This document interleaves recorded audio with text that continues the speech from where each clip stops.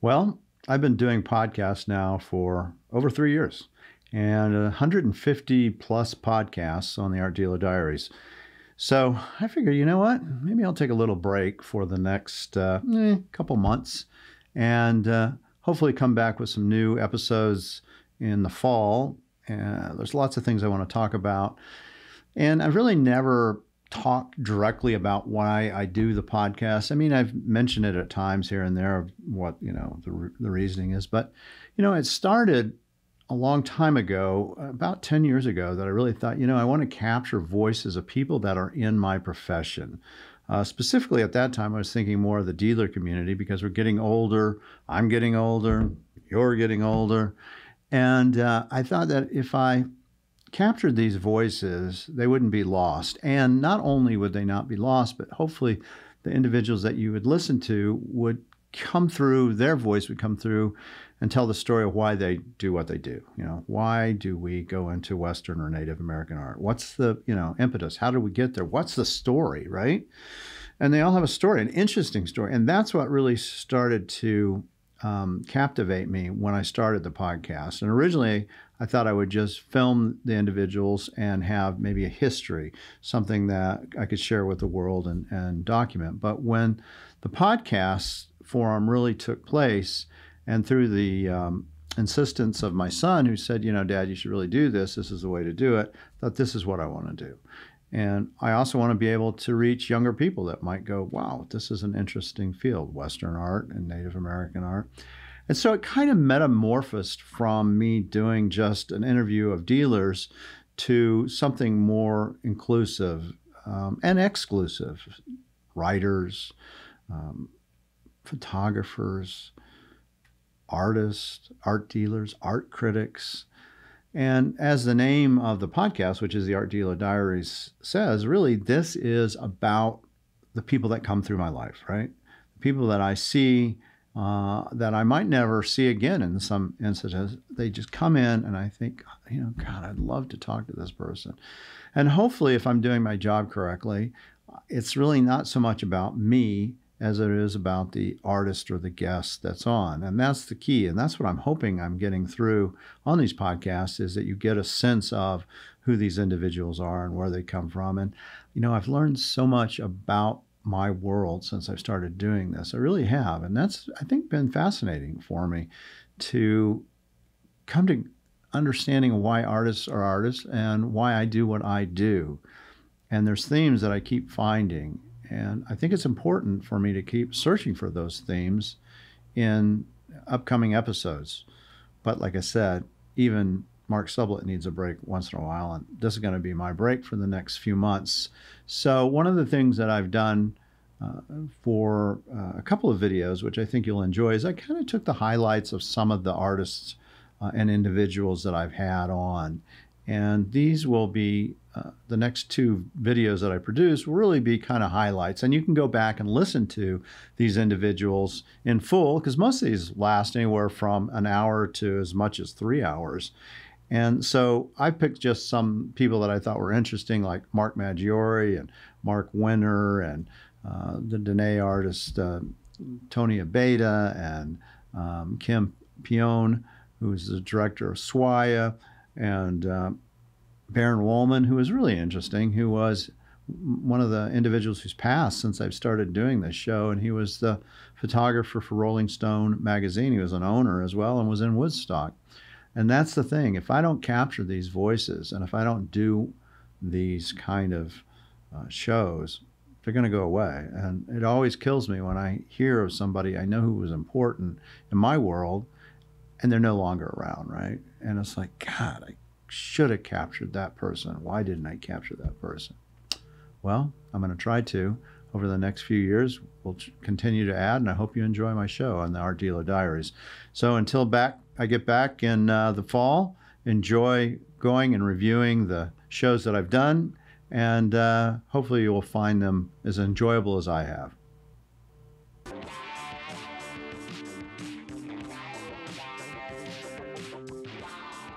you know, you kind of breezed over. Yeah, we had Sony Records, and you did a hundred. You sold a hundred thousand albums, right?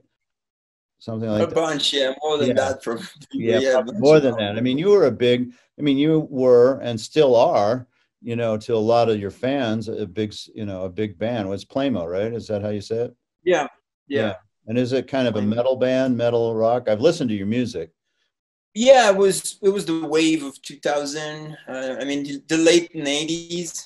Uh, you know, after Rage Against the Machine, you know, started that you know movement mixing hip hop and metal, uh, and so we were definitely part of that wave. Um, and yeah, I think yeah, uh, French kids always listen to American music. It's, it's always been like that. You know, everything that comes from America is great and that's probably from you know the 60s and it's always been like this so the wind blow this way and so i was one of those kids and always you know like but that one day i woke up thinking shit if we make a band why don't we sing in french so people can understand what we're talking about and i think that was a great idea because how many bands were in paris trying to you know reproduce Rage Against the Machine and all that. And there was a lot of bands and trying to sing in like pseudo English doesn't make any sense because we are not American. We were not speaking the language properly. And to me, it was like a phony. I was like, you can't work. Like, if we sing in English, what are we talking about? It's just retarded. So I was like, we're to sing in French. And so at the beginning, it was like, it sounds weird. Like, you know, because we're used to the American sound in music. And all of a sudden, you put French on the lyrics and it's different. It's unique. And it was hard to accept it uh, you know, with my bandmates, and I was like, okay, well, that's how we're doing. But then very quickly we realized the impact on people and kids singing lyrics, and you know, and like we got famous so fast. Like we Mhm. recorded a little demo, and I was like 20, and we brought that demo to the to the store, the record store across the street in Paris, and and the guy was like. He was blown away. He's like, "I'm gonna put this on the station so people can listen." and, and I'll tell you guys how it goes. And we were, were so stoked because we were a bunch of kids. And he called us a week after and he's like, hey, you know, like so many people listening and asking what it is. You have more CD? I'm going to sell them. And so we were like, whoa. so we, we were able to like uh, press like, I don't know, 200 or 300 copies of that demo. And the guy sold them all. He's like, hey, I want to do a showcase. You guys can play in the, in the, sh- in the store. So we're like, what? and so they planned the show like for like you know i don't know a week after and we get there the day of the show we just came with our gears and there's a line it was in the place of the oh opera in paris there was a line all across the street of like kids like us like long hair dreadlocks and we're like what are they here for? I guess for us. And we haven't been able to play because the minute we started it was the biggest mosh pit in the store. All the stuff started to fall apart and so the security stopped us and we couldn't play. We haven't been able to play. That was really funny but so that's how it pretty much started. And then from there you know we got we got signed with big labels and uh and and we toured everywhere um but we yeah and a lot of other bands starting to do the same we encourage people to sing in french because it made a huge difference for the fans because you know of course they would you idolize American bands more. You know, if we'd play with Korn, it would be more for Korn because they're from America. But with us, it was a hard because they understood what we were talking about, and we were talking about stuff that they were relating to. So that was the key of it, and um, and it was cool. Took it, and then we spent ten years playing and recording albums. and going all over the place, right? You toured. Yeah, yeah, we toured everywhere but in America. So that's again an interesting thing. It's like uh, you know American uh, book bookmakers. Uh, they would never. They're not interested in us because they're like the audience is not ready to listen to something else than American singing. uh, I mean English singing. So it was tough. So because every time we were playing with American bands in in Europe, they were like, "Dude, you guys are the shit. You need to come to America." And we're like, "We wish, but I guess we can't." It's just uh, not just us deciding. It has to be a tour. So yeah, that was it. And you were doing the artwork for your uh, albums and that kind of thing at that time. Yeah, I was always uh, pushing two career at the same time. So I, I was the tricky part is because when the band started to work well, I was in art school at the Académie Julian, and I had to do my thesis in the last year, and that, that one year we were on tour. So I had a, one of the craziest years of my life when I would like go play and take a night train or flight and go back. And at 8 a.m. I was on the class, you know, sketching nudes or you know, painting stuff. And then at like 4 p.m., I had to go back on a taxi, go to the station, meet the others that were traveling in the same time. But I made it, or I had to do it. Like I couldn't give up on on none of them. Like I wanted to succeed in art and I wanted to succeed with the band. Like it was, you know, and my parents were supporting me with the art, and I couldn't fuck up and say, oh no, I, I give up on the school. And I loved it too, so it was like I, I just had to do both. So yeah, I was pushing both, and when I finished school, I started getting jobs as you know, uh, illustration or um, music video. Um, directing and um, but I was in the band at the same time. But it was cool because I was in the music industry. I knew a lot of people, and so a lot of people would give me jobs because you know we were friends, and you know at Sony I did a lot of artwork for a lot of Sony artists because I was there, and that's cool. What did you do? And, what, uh, yeah. what Sony artists did you do? Do you remember? Which one did you do? I mean, French artists mostly. No, nothing uh, American. Only French stuff. And uh, I did this very famous hip hop band called NTM. Um, they were super big back then. I did the whole music video um, in 3D animation. That was pretty awesome. Uh, but also, yeah, I had the opportunity that, that year to um, go to America to work for Disney because I was also a lot of relation with Disney and I was I did a bunch of internship with Disney at the same time. And when they gave me the opportunity to go, I, I was too much involved with the band and I was like, I can't leave France. I had to stay. So I, I kind of like gave up on that um, thing, yeah, uh, the Disney thing, which I was kind of like over it at a certain point anyway. Um, and a lot of Disney artists told me, you know, don't go. it's like a washing machine. and uh, but I always had a lot of respect for you know Disney artists because there's so many good artists that work for um, Disney and DreamWorks, and um, so something I wanted to do. But you know, again, you have to choose paths sometimes. And, right. and you think choose, part of it was just getting the invitation? You know, you got the offer. You're good enough. For sure. You know, and it's like okay. 100%. yeah, no, I get that. I totally, 100%. I totally get that. I know. Yeah, as soon as I knew they wanted me, I was like, it's fine. I don't need to go. yeah, that's all I needed is the affirmation. They wanted me. Now I'm going to go work where I'm making some money. Yeah, probably. Yeah. So it had to be kind of a weird di- dichotomy that, you know, you clearly have two parts of your brain, the, the music and the art. And the art is, is, is obviously very, very important. It has been. But now you're doing this band, which is super successful and you still want to you still want to be an artist right so how do you deal with that um i think it just uh starting a band when you're 20 uh, you know it's gonna end like it and I, I had enough my head on my shoulders to know there's gonna be a time where it's gonna be over.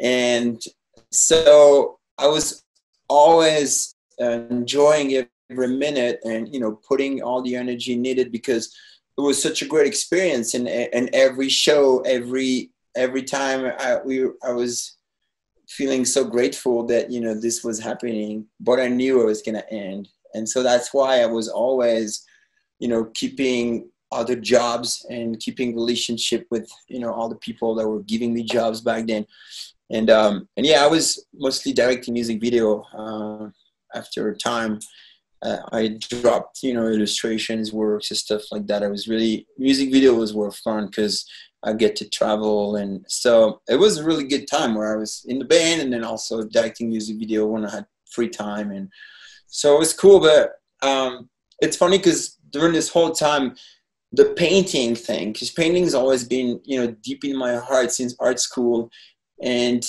but I had no idea that you can make one dollar being a painter. Like to me, it was like, yeah, it's even worse than being a singer in a band. It's like there is no way you can make money being a painter. So I was like, maybe when I'm old, you know, I'll, I'll have a house in Provence and I'll just be that guy that's just painting landscapes and and whatever. But it was always kind of a dream of a long-term dream, really long-term. So when I was thinking of the after band, I was imagining myself directing music video and maybe all three directing movies.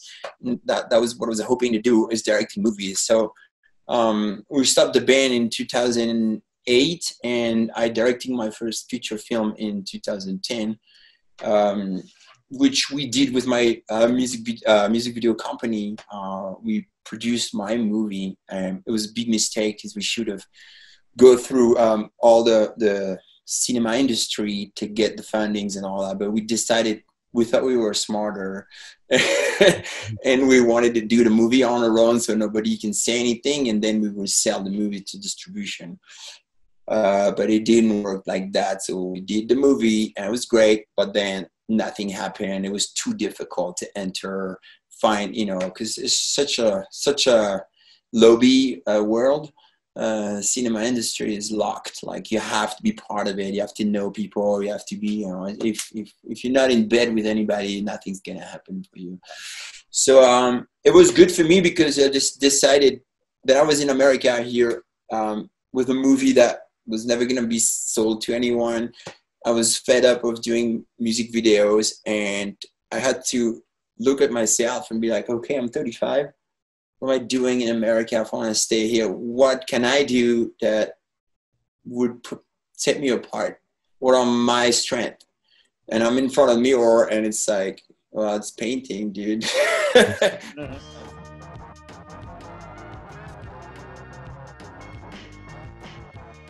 You were born in Santa Fe, right? Uh-huh. And so, mm-hmm. what what did your parents do? They went to IAIA, right? Were they right. artists? I assume. Yep. So my dad, um, I, I, would say that his number one art was music. He actually came to Santa Fe um, and was studying piano, and he was studying to be a concert pianist. Wow. And so I had the pleasure of growing up in a home with Rachmaninoff and Bach and Chopin and all of those things. And so but he was also a, a silversmith and um, and he also did a lot of other um, very artful things so it was something that he did all of his life my year? mom was a painter she was a painter what's her name her name is annabelle lazard and yes. does, does she still paint so she does um, yeah and it's so funny because she's like you need to paint and i'm like uh, I, I i don't know how to hold a brush uh-huh. Question is, has she applied yet to try to get into SWAIA with her paintings? Yeah, yeah, and I think that's a good thing. I think that it's a good thing to um, to definitely take that on and and be who I am in it. And if it's bad, it's bad, and if it's good, it's good. But um, as far as SWAIA is concerned, I think what I bring to them is just uh, truly business acumen. I, yeah. I'm a businesswoman, and that's how I operate.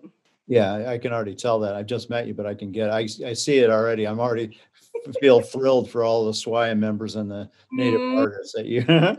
You. So, how long were you in Santa Fe as a kid? You were born there, and you're. Yeah, so I actually um, we we actually lived here until I was about eight years old. Yes. So during that time, my father, after um, graduating from IIA, and having taken on a family, he he really needed to find um, provision that was sustainable for our family, and so mm-hmm. he went to school and became an RN nurse. Mm.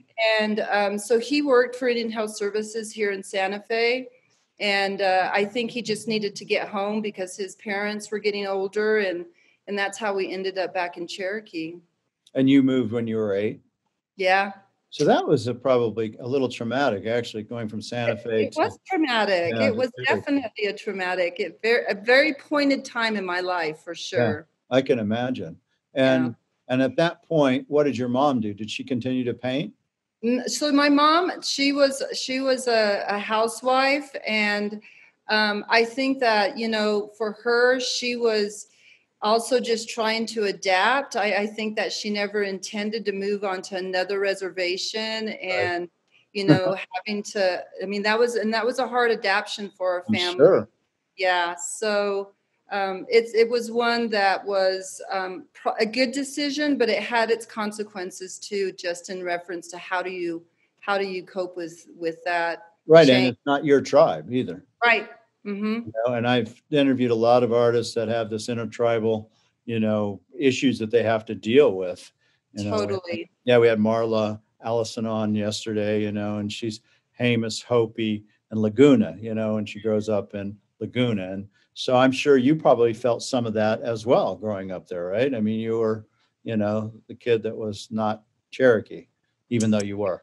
Yeah, even though I was. And um, no, definitely those things. I always felt uh, growing up that I uh, knew other cultures, but not my own. And so when I went to work for the Colville tribe, that was the first time that I got to live on that reservation, mm. work for my people and become a part of that that community. And um, i fell in love. It was it was it was a really awesome experience that really completed me as a human being. Um, i've been on that journey of identity. I think what you're talking about is identity. That's right. And, and who are we and where do we come from and just even in these native communities? And so I had the pleasure of um, marrying a man who was a member of the Spokane tribe of Indians, and so we lived on his reservation for 19 years. Mm. And um, and so the Spokane tribe, um, I consider them family, and they will always be um, a very beloved community to me and my children, because my children are descendants of Spokane's, and I think I have two grandchildren. No, three. I have three grandchildren who are enrolled with that with that tribe. So.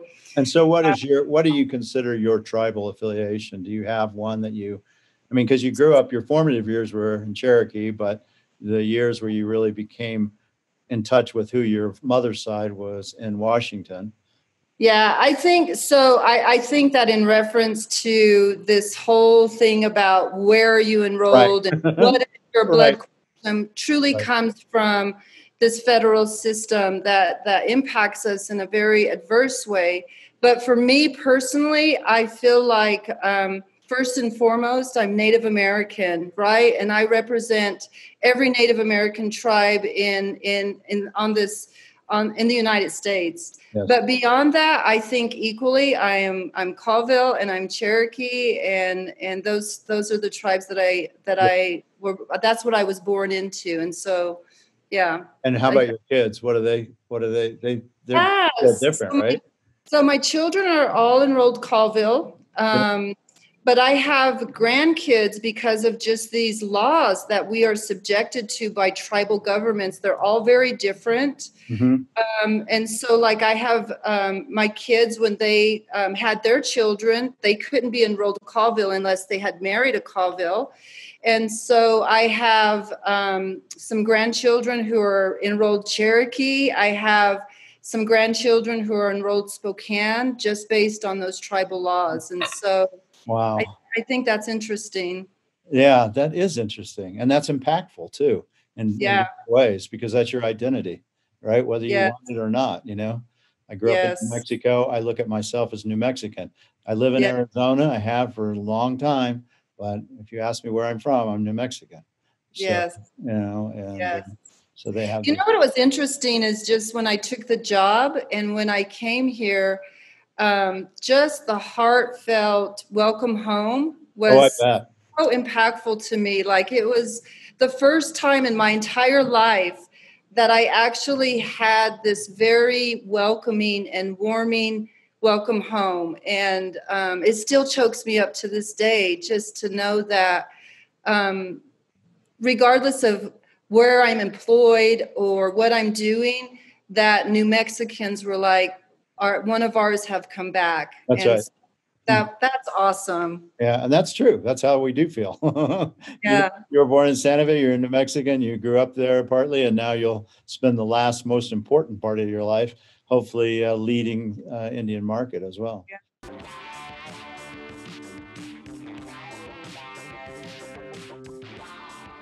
So I'm driving along thinking it's just another concert, right?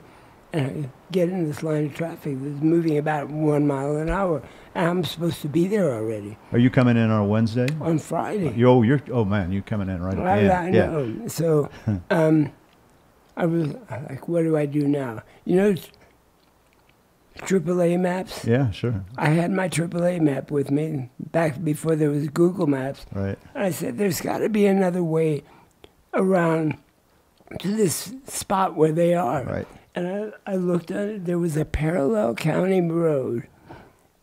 I mean, really parallel. I took a left turn, then a right turn, and sped up there. And I was there in 20 minutes. I mean, I'm, and this is the other thing I, I don't often tell. As I got close, there was a motel there. I stopped and said, "Do you have any rooms?" they did. No way. Yeah. Well, of course, most of these kids had no money at all, right? well, but I mean, even the ones with money had to stay. They had to camp, and they had to. And I had, you know, when things got bad, the rain came. I went back. to so you got room. the hotel. Did you pay in advance so you made sure you had your oh, hotel? Oh yeah, oh yeah, oh yeah. Because that was a very prime thing. And so you could get to that with your car. How, do, how would you get to that logistically? How would you get to that? I that? drove to it because this back road nobody was using. it. Yeah. I mean, I, I- well, they left their cars 20, 50, 5, 10, 15, 20 miles away and walked the rest. Yeah, that's right. I mean, it was just a line of cars, right? Yeah, it really was. So you were able to. So you show up on Friday, and who do you have to go report to at that time? That's I have no idea. I I don't know. I mean, I don't know who I report. to. That's a funny You're question. 30 at this time, right? You're a At 30 year old. So you're one of the 32. 32. So you're one of the older people at this. Yeah. Well, I was I was 30 when we started Rolling Stone, and um, you know, at that time, you weren't supposed to trust anybody over 30. Right. But there I was, the chief photographer. They better trust me. In fact, we'll we'll backtrack it right here Yeah. because that's really kind of a critical component. Is that um, the fact that you were the the photographer for Rolling Stones, right? Right. And so that happens in uh, you meet two people that were influential who were just getting ready to start that, right? So you Ralph Gleason was one of them, right? And he yeah. was the San Francisco Chronicle. Jazz, he was really the jazz critic as much as anything else. But he noticed that the music was changing in San Francisco, and rock and roll was becoming pretty big, to say the least. Right. And, and so he started covering rock and roll. And he, kind of became a mentor to Jan Wenner, who uh, the titular head of Rolling Stone. And so and, we and he was young, right? He's a 21 year old kid, right, from Right, Berkeley. and- exactly. yeah, and that's Jan Winter, Jan, Jan Winter. So yeah, and uh, you know he just uh, he told me about the idea. It, what they had no name yet for it. yeah, It was just an idea, and he told me about it, and I thought it was a good. He said, "What do you think?" I think it's a good idea. He says, "Well, do you have ten grand to invest?" I said, "No, Jan, but I'll, sh- I'll tell you what. I'll shoot for free in exchange for stock in the company." Well, there was no company, so obviously it was easy for him to say, "Okay." But the one thing I did say that has stood me in good stead from that day forward was I said, Jan, you can use the pictures any way you want to, but I own them. And that's an impossibility right now. So for 50 years, well, I mean, I'm exaggerating for a fact, but for 50 years, I've, I've lived off of the pictures I took in the late 60s, early 70s. yeah, because they gave you access to all the names. I had access to all the bands, not only because of Rolling. Well, with Rolling Stone, in the beginning, we needed them as much as they needed us. Mm-hmm. Put it this way: they needed us as much as we needed them. So if they were disinclined to get their picture taken, they suddenly became inclined because they wanted to be in the pages of Rolling Stone And that thing kind of shot off pretty quickly, didn't it? really quickly, really quickly. So you got stock, you got, um, I, I got no money. I got but you got to keep all your photos. Yeah, yours. exactly. So that was an. I don't know what I no. People said, what, you know, what possibly uh, caused you to make that condition? Yeah. And I thought back. I've been working for Time Inc. Yes. You know, shooting for People magazine, all that crap, and um, and it was crap. I I told them I'd never shoot for them again because they, they were so they had they lacked compassion. In order to get, they said, you do anything, you get a picture, even Oh, if it hurts somebody. Oh, I said, I'm said not working. Wow. I said, I'm not a carrion bird. I don't work for people like that. And they said, you'll never work for us again. You're right. I will never work. Anyhow, blah, blah, blah. But when when you work for Time back in the day, when you work for Time Inc., you had to give them all your film and everything, and essentially they owned it.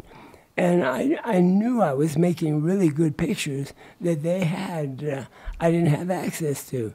So that's, I think in my mind, I was remembering that, and I said, Jann, I own the pictures. Yeah, so you're just, when you work for Time, they pay you out a fee and say, okay, you get this much for this shoot, and, Yeah, and that's we- it. And then that's adioso, it. buddy. Yeah. Thanks for the great photos. I don't know if they still that. Uh, it's, it's gotten it's gotten horrible.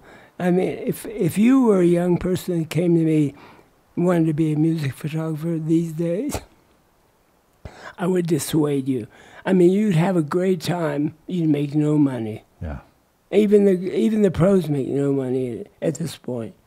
So let's go back. I actually want to go to the part where how you became a photographer because at some point when you were growing up, photos, something, art, photos, paintings struck you, I would bet.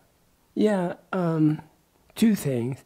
My cousin had a small speed graphic, which was a very cool photojournal. Oh, no, I don't even think of photojournalists. Uh, you know, the photographers of the day, you remember, had that square speed graphic with a light bulb in it. Yeah, And yeah. you'd shoot it and you'd have to change the bulb. He had one of those. But with that, he just showing up with that camera, he could cross police lines. Yeah. And I and be where the action is. And I said, I want to be where the action is. So I got myself a camera, not the same time, How old were you then? I was a young teenager, Yeah, teenage kid. a very young teenager, 13, maybe 14. Um, but here's the thing. My, well, to this day, it persists, this idea.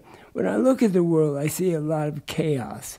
Um, and in the broader sense of the word chaos, the way people handle themselves, the way they relate to each other, the, wa- the way they live their lives. And then ac- accompanying the chaos is this noise. I can't explain it. It's psychological, psychic noise, which I always felt even as a kid. But I picked up the camera and I looked through the viewfinder and I could select the moments that had some meaning to me. And there went the chaos and there went the noise and it was almost therapeutic. And you know, I fell in love with the experience. And uh, I, there'd be periods of time I'd put away the cameras and I'd come back to them and it was like a best friend. They were, it was always there. The experience of pa- taking pictures was always built, you know, made my heart pound, filled me with delight. So that's that's a story. How I became a professional photographer. I mean, this was a great hobby. You know, I could get girls to unbutton three bu- three three buttons on their bust. Right. Um, uh, but uh, I was in Berlin working uh, for our side as a counter spy. And so Well, let's stop right there because that's pretty interesting. I'll tell you more yeah. about that. um, but um, I was there when the wall was built, when it went up, and I started photographing what was happening. That's like 1960. in '61. Yeah. Okay. And um, I took pictures, and I wrote my hometown newspaper. I said, "Look, there's local. I'm the local boy on the front lines of what could be the beginning of World War III. Would you like some pictures and a story?" And they said, yes, send, send us what you got. In those days, you couldn't transmit photos electronically. I made prints, I wrote a story. And you know what? They wrote, they read the whole story, unedited, all the pictures, on the front page of the feature section uh, of one of the daily, or maybe it was a weekend, I don't know. And they sent me a check for $550, which in 1961 probably represented about $500. Yeah, So- and you're only like mm, 21 or something. 22. Yeah. So I'm saying, wait a minute, this hobby is paying me money. I'm just going to make it my profession. And that, that was really the beginning of it.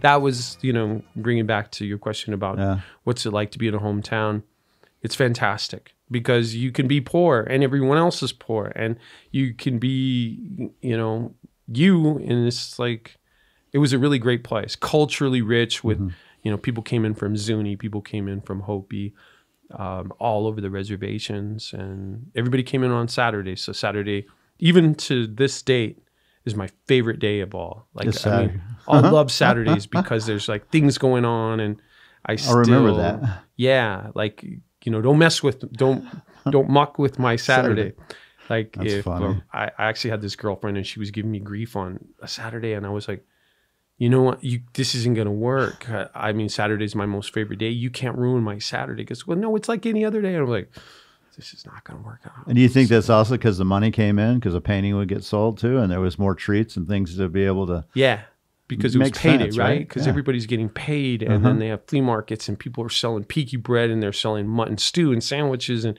and jewelry and everything, and people are getting new tires, and there's parades down on town, and Mm-hmm. There's movies, matinees, and we don't have to go to school. Yeah, no school. So yeah, And were you good at school?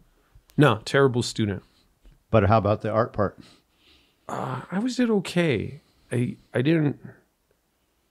I, I drew. I made things. I built stuff. I, you know, played with clay. Nothing ever got fired, so it all melted back into the earth. Uh, but I will say that when I didn't know what else to do with my life, that's when I made the decision to go to art school, and my sisters all were supportive. Like you, you can do it Yeah. you should go to art school. Uh-huh. Yeah, let me, let me, I'll help you. I'll make a phone call.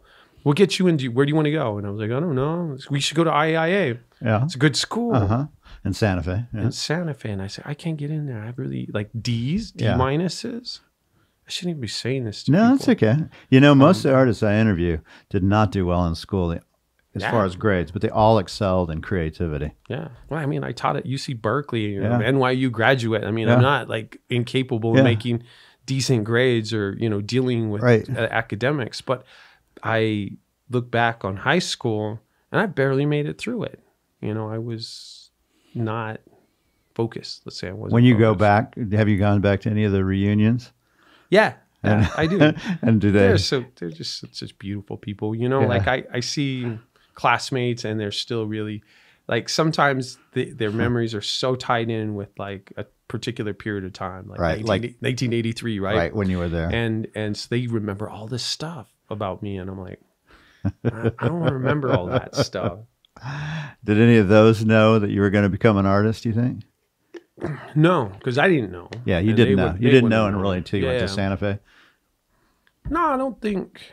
You know, we we all went to go do different things, and some people still live in my hometown, but I think a lot of people left and went to different hmm. places, go to go, you know, get out of that, uh, you know, small town groove mm-hmm, and mm-hmm. search out. I mean, Yeah. I I almost moved back to my hometown, but I could only handle it for about a week, so there I would be. Yeah, I grew up in a, the same small town you did, almost the same size, but on the other side of the state Yeah, in Portales. You were in Gallup Oh, and I was in Portales. Portales. So similar. I understand. Yeah.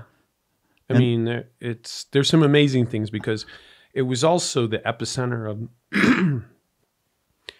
of uh, like jewelry, right? Mm. American Indian jewelry. So I knew a lot about you know lapidary and stonework and all of these things, and um, all the traders. You know, Tobe Turpen's was friends with my mom, and and um, Richardson's. You know, was had these vaults, and and um, I'd go into the back vaults, and I could see like you know just all of this like squash blossoms Right. 650 concho belts and strands of coral back in those days it. Right. wasn't like the stuff that you see now right that gets pawned it was all the stuff that traders wanted people to Right. pawn like is are you going to pawn this first phase concho belt and they're like well we'll be back for it and they ho- hoped that they wouldn't because Yeah, they would course. know that this was like you know the last leg of really the great stuff and that was all all then and there so so i grew up around a lot of creativity art there were people who were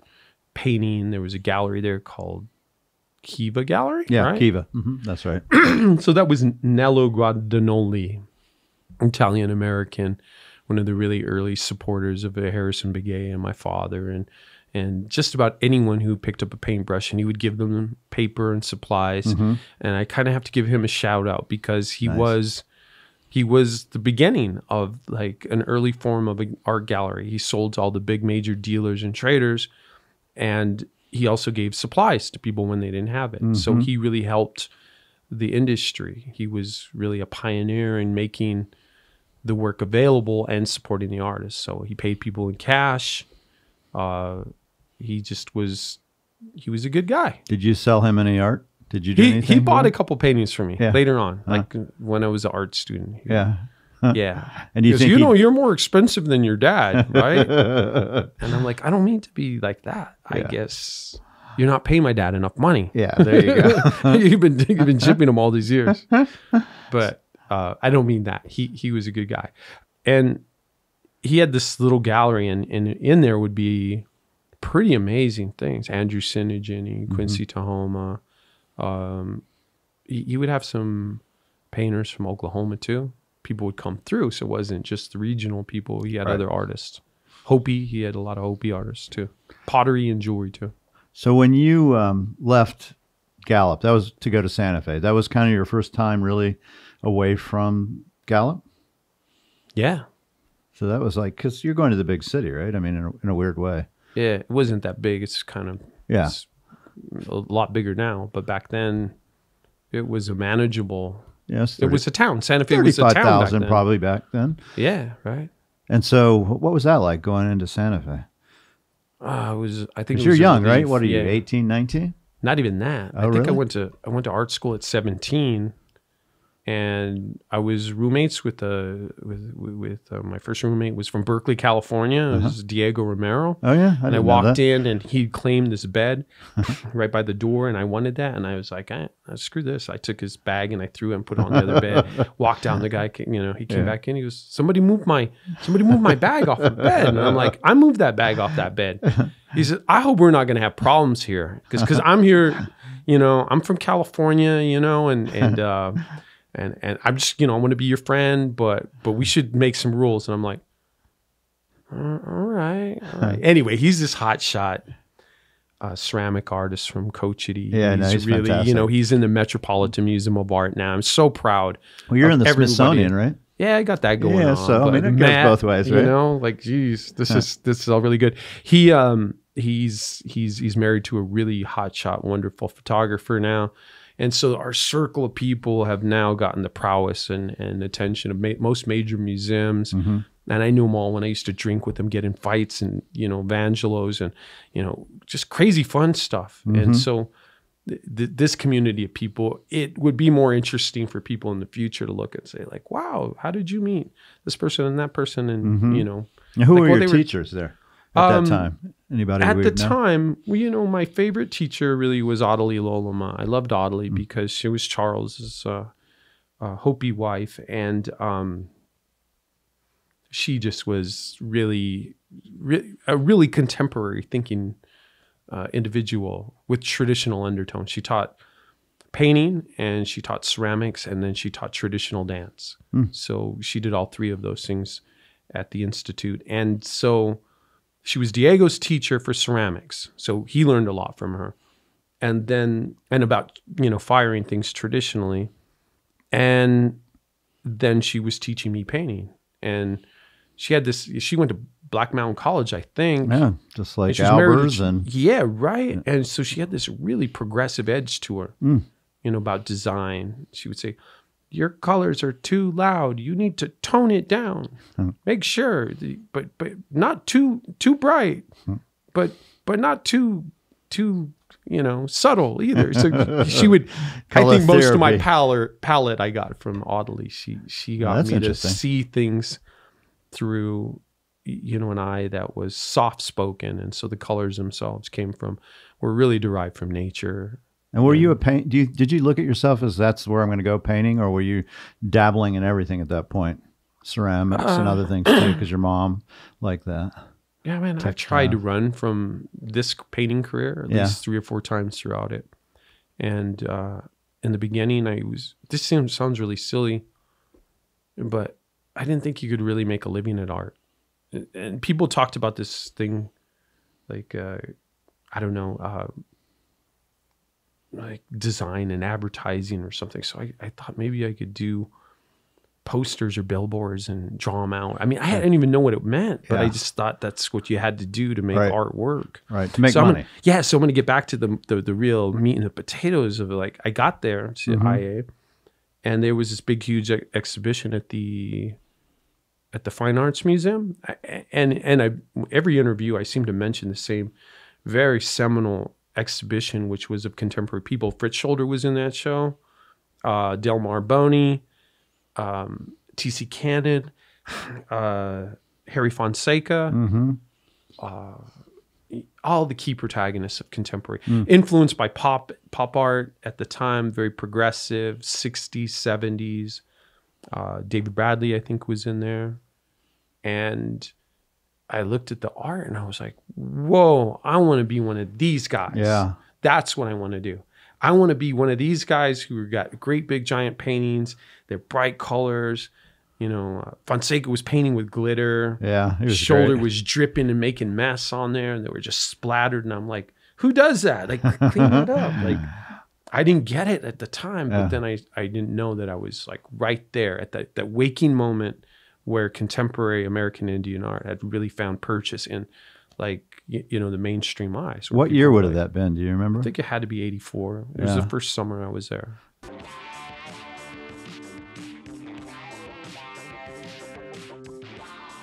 Well, one of the things I think that for me, and I hear it all the time, oh, I don't have the space. That's never stopped you, right? Never. Never stopped me. I've never considered whether a frame goes with this or that, or when I bought it. I mean, I may change out frames. I I've done that on a couple Right. pieces. Oh, yeah. just to match up what I have, Oh, and, yeah, and we- that all works. But you know, you buy what you love, what strikes Yep. you, and don't worry about it. You'll find a spot. Well, on the other side of this casita, I think I don't know if I told you before or not. We built a thousand square foot acclimatized unit, it's Yeah. completely sealed, and has you know AC and, and heat. We keep it at 58, and story tracks from one end to the other. And there's 350 paintings, prints, drawings. So, and they're- all you know provenance. They're all you know in our books. We know exactly because we have different storage Yeah. around the property. We can rotate anything. Yeah. I mean, I'm You're a gallery in a way. uh, yeah, Your own gallery for yeah. you. Billy Schenck for Billy Schenck. Now, all that stuff, your house and all this art Right. is going to ultimately end up in a a uh, In the foundation. foundation, right? yeah, we we we have a lawyer now, and we've got all this paperwork, and that's our very next move since we've now made this trip, you know, to Phoenix and to Tucson to see you and take care of some business. The next thing is now to sit down with him with all the paperwork he's got, and I have, you know, some questions about making this a foundation that has like my serigraph collection. I have the only complete collection of it in existence, and there's roughly 55 paintings of mine that I'm wanting to put in that. It's just see if we can't start this before I'm dead. right, yeah. But that's, I mean, clearly in your mind, Oh yeah. you know, and it has been way before you had a heart attack or Oh any yeah. of these other Uh, things. no, I've been planning this for yeah. years. And why is that? What what's what's why do you feel it's important to do that? When I bought that property in uh, Santa Fe, it was already a significant property because of John Brinkerhoff Jackson, who is uh, internationally renowned landscape architect. I mean, it was sort of philosophically hadn't been thought of in those terms, and he used to call it the vernacular landscape. So he was quite famous. Uh, he had studied at Harvard, um, taught at uh, Berkeley, and he built this property. And then when he died, uh, he had um, no heirs, and he donated the entire property to a, a foundation there in um, Santa Fe, and we bought it from them. So I wanted to keep his vision alive. When was that that he built ninth- that? well, he built it in 1965, Yes. and he died in 96. Yeah, it's interesting because it has such a. It seems so much older. Well, it's probably the way we restored it too. Yeah. When um, when he had the house, I mean, it was double thick adobe walls and and all kinds of wonderful eccentric, uh, you know, deep uh, flared window Mm-hmm. frames and all that. But the wood was painted. Mm. Kind of a 60, I mean, wood floors, Right. wood ceilings, wood. I mean, there was Right. a lot of wood along with this adobe, and I love wood. I mean, I had log cabin, you know, we built in Jackson. Right. So I was ecstatic that I could get a an older looking adobe and uh, we just sanded and sanded paint with a pile of kids, you know, from college and high Right. school forever. And then I restained all that wood to match my Molesworth furniture. Right. And rather than have, you know, really white walls with a, a high contrast, you know, to darker Vigas, you know, we came down to a, a palette of mid earth tones uh, that softened it all. But of course, it made it a little harder to see the art. But I didn't care. And I wanted it to feel like a lodge, like circa 1925, 1930. It has that feel. pardon me? It has that feel for sure, Yeah, I especially mean- with the Molesworth furniture throughout. And uh, you know, I went up to Bandelier, and that was built by the National Park Service. I don't know who the architect was, but I just took photographs of that for reference. I would go down to the um, the church right off the plaza and uh, the museum, the Fine Art Museum. I Right. got that auditorium, and you know, and I looked at that stuff, and um, God, it was one other. Uh, but in any case, oh, uh, La Fonda. yeah, everyone uses a LaFonda. How You can know, you not? So that's kind of where my references were to build this. So yeah, it does feel Hmm, very lot older than and, it And it is. has all those huge cottonwood trees that have been Yep. there a long time. no. He planted that stuff. There was only one indigenous cottonwood Yeah. tree on the whole property. I got the photo. I just found them again, and it's But he just planted them in hysterical. the he 60s. planted everything in the '60s. Yeah. because the water table was so Six- high. That's 60 years ago now. Yeah, right. and there's springs on the property, and Yeah. so we have water where you know a lot of the Southwest is not, Right. Um, and it's right next to Los Golondrinas, which has water too. and so it makes it a, and makes it nice to be able to have two museums that'll be kind Yep. of back to back. It, And- we're a quarter mile apart. And do you envision it being something like O'Keeffe's place and in uh, Yeah, by Abiquiu? appointment. Mm-hmm. And plus, as you know, it is not just how we restored the house and the fact that we do have that Molesworth collection. We have a collection of prehistoric pots. We have contemporary and historic paintings. We have Navajo textiles, which you now are probably the major percentage of those like of all of the house. uh, and so we have had, as time has gone gone by, I've gained a reputation for any number of different museum groups um, that you know put us on their itinerary, and Yeah. even some of these travel outfits uh, that do this commercially. Um, Well, just from You know- design, I always thought you had one of the greatest eyes just for design, pure oh, I design. appreciate that. Thanks. and it really is. I mean, you can see it in the way you put the paintings on the walls, how you design the furniture that matches the Molesworth that you design, Right. the concept of how you go through it, and, and how it's. I mean, are you going to have like a Barnes kind of foundation and sensibilities where That's this is where it's trying to go- do. this is where it's hung and you don't touch it, kind of thing? Well, I'm hoping that's what's going to happen. I don't know how much I can, you know, restraining. Uh, but that's that has been my vision. Yeah, it's I been my see it. vision for more than ten years. Yes. I mean, this was going to be my last great, epic chapter. Right. Was to do this and leave this vision, and it just keeps being reconfirmed because I have all these different groups who love. They're just saying, "Oh, this was our favorite destination." Yeah, destination." no, it is. It's super group. interesting. You know, they go up to Museum Hill, they go to Glenna Goodacre's or to O'Keeffe's house or to the museums, um, or over to uh, Nedra Matteucci's, uh, which is, you know, historic. And they love our place. It just is uh, less intimidating. To be, I mean, you can be around the art and, and it's okay if you touch it Right, at my house. right. It's okay. You can walk on the Navajo rugs. Yeah, and, it's until right. until it's actually the foundations and they own it. Yeah, they'll- then I don't know what's then you. You'll be probably not around at that point. Right, right. Well, it's interesting because it is a mixture of historic, contemporary, because you collect Yep. a lot of contemporary artists like Mellon and, and some of these individuals, Zemetzky Right. and stuff, in your own collection. Oh, yeah.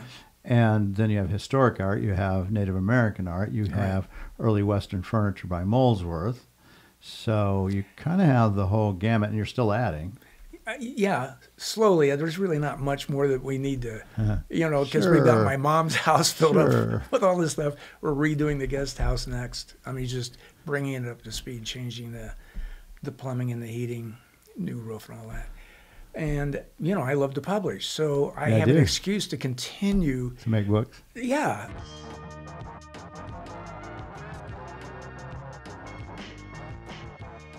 in the beginnings, uh, when we were kids, we were all drawing. And we would have these contests to see who was the best. Now there would be an outside judge, one of the uh, neighbors Yeah. would come over and uh, would judge, and I was always winning. So they just gave up and they just went Yeah. into sports, and I just continued like being the artist in the family. So, and, and, and the truth of it is, um, if I were to think back on how they were, you know, navigating, you know, the uh, figures and things that they were drawing, Right. Um, you know, no, they weren't on the same level. Yeah, yeah.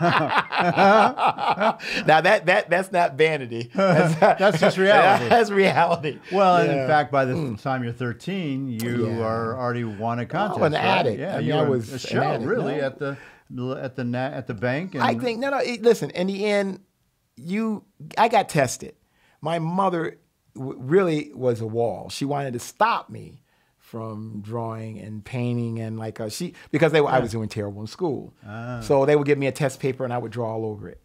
And so I was just like, you know, she, incorrigible. so yeah, she, just she- thought you didn't care. yeah, of course, of course. Yeah. So I mean, and you're growing up in the hood. It's Yeah. like you know, they- it would look like that, and she didn't know what I was going to become or what. And I, did- I was an addict, so I couldn't stop. So the only thing that did get her to stop, you know, like uh, uh you know, like uh, trying to sort of um uh, get in the way of what I was doing, so I started making money.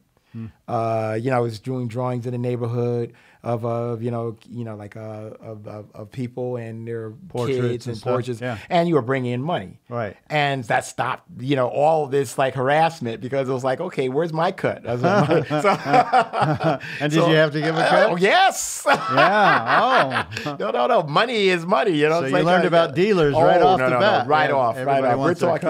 I would have been like at that time, probably when I was making money, maybe about um, ten. Wow. And then when I started exhibiting, it was making even more money. So I was 13. So like uh, That was your first show, That was really, the first right? exhibition at the bank. And then I started exhibiting at the library, and then Yeah. graduated to Westport, Connecticut, Yeah. and started exhibiting there in the country clubs. And then, of course, moved into New York to go to school. And I stopped doing that type of work. Right, then Like then I was following like artists like Maxwell Parrish and Norman Rockwell, Yeah, right, okay. uh, the Wyeths, and Yeah. like um and like because I, I didn't know any better. I thought this is what art was. Yeah, if it's realism and tight, it has to be good Yeah, art. and? I, I didn't know who, you know, like when the Picasso exhibition came to uh, uh, MoMA, that was when I had a real taste of what uh, the fine arts were. that was 1980, right? That would have been 1980, but like You like Jackson I Pollock, knew I, was number? introduced to Jackson. Yeah, no, no, no, I know you've done your homework. So, smart man. But, but I think that in the end, uh, it, it certainly was Jackson Pollock who really introduced me to uh, the fullness of, of abstraction Yes. and the possibilities of what, you know, what was out there for me. And Picasso just sealed it.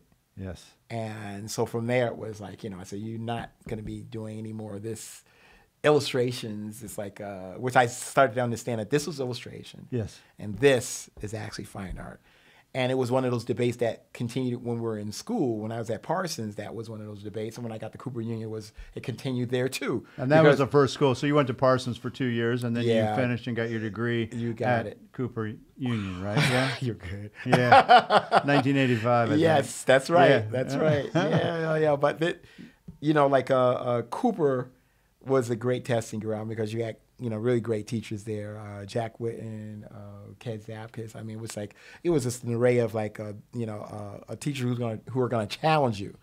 And they saw something in what I was doing, even if it was like you know a prettified surface which is what really, uh, in the end, uh, if you're an illustrator, you understand like uh, how to stylize, how to capture, uh, you know. But with you know, like uh, the next level would be to sort of peel that back, peel back that surface, and be able to penetrate and get at the substance of what all this is about. You know, the abstractionist. It's like And were you doing that at Cooper Union? Were you doing? yeah, I was abstract- experimenting. I mean, I was doing all kinds of Yeah, you were I was- trying to find your voice. You think at that point? Absolutely. Uh, I knew that uh, you know, like uh, uh, that there was something beyond that surface, and what that was for me, I didn't know. Yes. But I knew that in order to sort of uh, uh, uh, to meet that, I needed to tie my hands. And that's what I did. Literally, it was like tying my hands and say, okay, you can no longer paint. These are things that we're good at. No more drawing, no more painting. You stopped doing that at about 21, right? Something like that. That would have been about right. Yeah, yeah. God. wow. But you did that because you realize if you stop that and you that would open up the because your creative juices are going to have to flow, right? You They- can't they- stop I, that. I couldn't right? stop, and Yeah. it's like, but I needed to sort of like at least challenge my get to the next place. And how do you do that? By uh, if you're using crutches all the way through, you're really not going to learn how to uh, uh, maneuver and walk. So I think that you need to sort of continue to challenge myself. To this day, that's still the case. Hmm. I mean, but those were the beginnings of uh, my challenges. Uh, the new challenges are just what we spoke, we were speaking about earlier right. uh, you know, like a, uh, you know, like a, you realign yourself with former parts of yourself in order to sort of like learn what the new self is. So uh, now, when I say that, I know I'm standing on the shoulders of many artists. You know, I'm not alone in this. Right. All artists Yeah, do this. exactly. I Good mean, the, the very idea that you know, like uh, that you're coming in and you're uh, reinventing the wheel is like you know one of those falsehoods, and I think that you need to sort of um, uh, be able to sort of take a step back, uh, uh, understand that it's a collective. It's an it's an experience that actually is about uh, all of us. It's not just you and how you're how you're perceiving things, but it's it's actually you, history, and how you make adjustments and add to a continuum of history. So, uh, So eh, artists like Nevelson and Hesse, those would be people that you would be able to relate to. You think in your I own work? think that them and I think others, and I think that they will also, you know, align themselves with artists, and you know, and, and we're a part of a continuum. Yeah, we so yeah. we're not we're not ever coming into this, you know, um, whole cloth I- as a you know Yeah. as a full on, you know, like uh, no, that doesn't happen. I mean, like you look at Picasso's work. There was an exhibition at uh, MoMA um, uh, called Primitivism. I don't know if you right. Mm-hmm. remember this exhibition. It was it's very controversial Yep. for all the right reasons. Um, it was a good thing they put that exhibition together, but the premise was ass backwards. Uh, it was the idea that like uh, these artists actually were uh, civilizing in some way the, uh, these natural abstractionists. So you look at Right. the African mass, the, uh, Yeah. the oceanic people. Right. I mean, and what you know Picasso was doing with them. It's just like no, he is actually building on right. a, a very very sound uh, uh, uh, uh, uh, Artistic ground. basis. Right. Exactly. So it's like so so so so the, the the very idea that no no one's coming into this like without actually standing on the shoulders of of, of his predecessors. Well, even Paul, uh, even you know, if you look at Mm. Jackson Pollock, he says that in his abstract paintings, the ones that he, you know, the strips, Mm. sand paintings, Navajo sand paintings. He watched them make it going around, and he got the Mm. so generous to actually allow us into that, right? To let us know Yeah. that, that that he didn't come into it like you know like uh, he wasn't in, you know reinventing anything. No. you know He- it was all there, and he un, he saw it and he added to it. Yep. You know he stood on top of that, and then actually now gives respect Yep. to those things that like uh that that influenced him. And I think that this is the mark of uh, uh, of not only a, a, an honorable uh, man, but a one that is actually spiritually connected and understand that there's a cosmic reality to things. It's not just about these things that you can actually touch and feel. Uh, you know that that is only the the the the, the top layer. Uh, beyond that is something far deeper, more spiritual, and in the end, it is the one that's more lasting.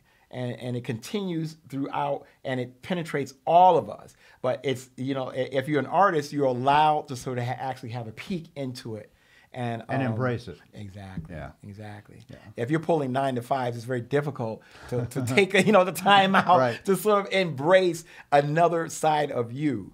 And uh, that Do you would- always yeah. try to embrace that when you're in the studio that you don't? That's look- natural. That's that's natural happenstance in the studio. I mean, you don't try to do anything. It's the fact is you've been doing it all your life. You understand it this way, and you understand also that you need to sort of continue to sort of push uh, past and add to. Uh, uh, life will be um, tiresome and boring if you sort of like uh, uh, just harp down the same Yeah. you know theme all the time. I, I couldn't do it. Yeah. Well, I think great artists can't. I Mm, think they mm-hmm. have to push themselves to get to that other level. And I think for you, from what I can see, is Mm-hmm. that you really do go in episodic runs of ideas, starting with number eight, right? I mean, let's might as well Mm-hmm. Go into that because Yeah. that's a that was a very important piece that you did, right? I mean, that's 1988 when it really That's kind right. of came together. Yeah. Hey, I got to do my research. I'm interested. I own one of your pieces. I want to know who I'm buying from. Well, number eight, yeah.